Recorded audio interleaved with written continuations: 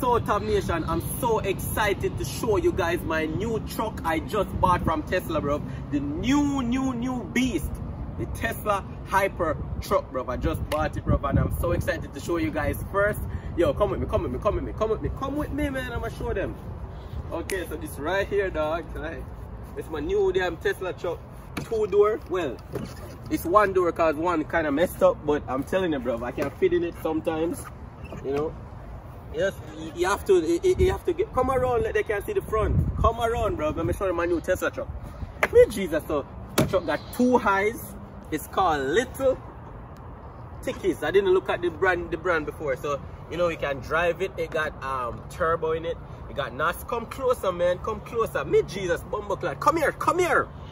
Yeah, so we got Tesla, we got, listen, we got the roof so it can protect you from the rain and shit, you know? And all you do, you have to drive. This is how you drive it. That's as simple as that. Like, just drive, man. Great Tesla truck.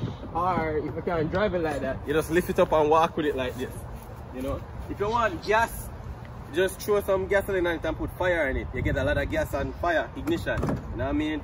Great stability. Cost me $20,000. You guys can invest in one too, alright?